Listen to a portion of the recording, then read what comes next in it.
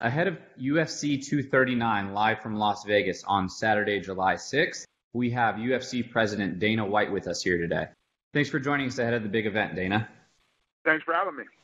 Why should people tune in for UFC 239 on July 6th? Because it's one of the most stacked cards of the year, and we have two of the greatest of all time, Jon Jones facing Thiago Santos, and Amanda Nunes versus Holly Holm. And I could keep going on about the card and how many fights, great fights are on the card. But two goats, two of the greatest, greatest female fighter ever, and uh, Jon Jones, the greatest fighter ever. Great. And why does Thiago Santos have a chance to do what no one else has truly done? Beat Jon Jones straight up. Anytime two men get in there and start throwing punches, kicks, elbows, Thiago Santos is a big, durable guy with knockout power in both hands, feet, and he's hungry. He he wants that belt. The question is, you know, how long can Jon Jones hold on to, to this reign? I mean, he's gone through murderers row at, at, at light heavyweight and and destroyed everybody. How long can he continue? How long can he stay undefeated? Got it. And give us a dark horse fight that has potential to be the most exciting matchup of the night at UFC 239? Oh my God, there's so many. I mean, the uh, Masvidal Ben Askren fight is a fight that a lot of people are excited about. Diego Sanchez, Diego Sanchez is a maniac. Going up against Michael Chiesa, that's a great fight. There's so many great fights on this card. I mean, I could, I could keep going.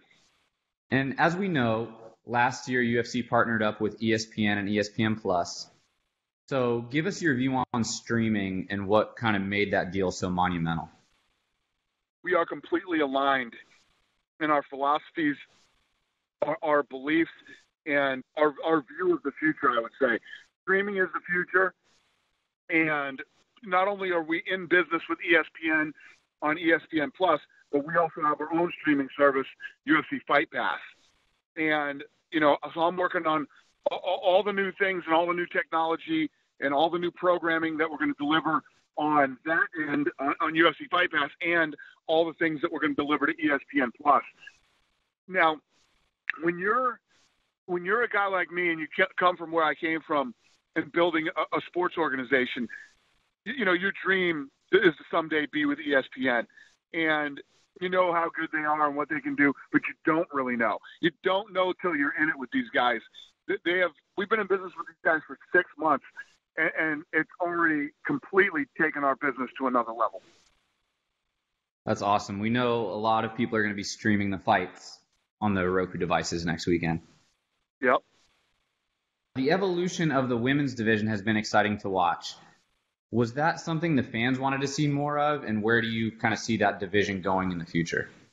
Yeah, because at the end of the day, if you think about it, the fans really dictate what's big and what's not these women are so good and so technical, and and, and their fights are so exciting. It, it, it uh, it's become massive for us. How do you see UFC and boxing coexisting, and do you think that one success hurts the other? No, both can coexist. I think that there's a lot of things that need to be done to fix what's broken with boxing. And I think over the last 20 years, I've proved that my model works. And I'm going to get into boxing and I'm going to see what I can do. So you said that Jon Jones is the greatest UFC fighter of all time, but who do you think was the most beloved by the fans ever?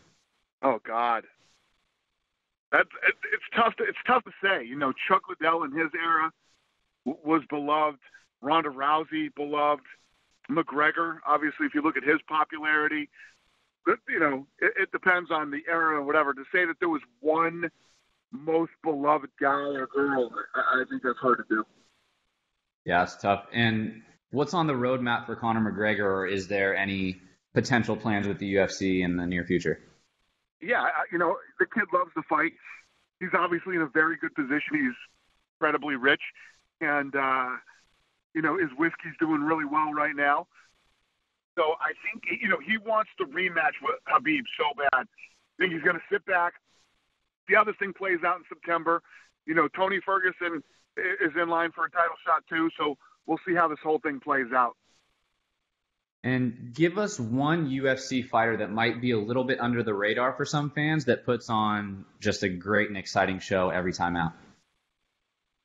I would say if you, if this is going to sound crazy because she's actually fighting for a world title, but up until about a week ago, Weili Zhang, her name is Weili Zhang, Chinese fighter.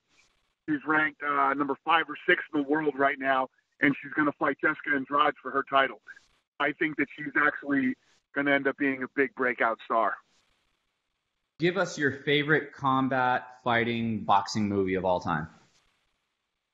Got to go with Rocky. Who's the actor who looked like the most realistic fighter that you've seen in a movie on screen? Daniel Day Lewis. Best UFC fighter turned actor or actress? I got to tell you the truth. He, he was kind of a was kind of a one and done, and it didn't do as well as it was expected. But I thought Rampage Jackson was awesome in uh, the A-Team. Current UFC fighter who would make the best actor or actress? I think you know he's doing movies right now, and, and, I think he's so good and natural on TV. I think that he could actually be good and, and as Michael Bisping. If there was a movie made about your life, who would play you? I don't know, probably Michael Chiklis. And last one, when you're not running the UFC, what are you currently watching on TV? When I do watch, I'm usually watching Family Guy. All right, Dana, that was awesome. Thank you so much for taking a few minutes out of your busy day to join us. Pleasure, buddy. Have a great day.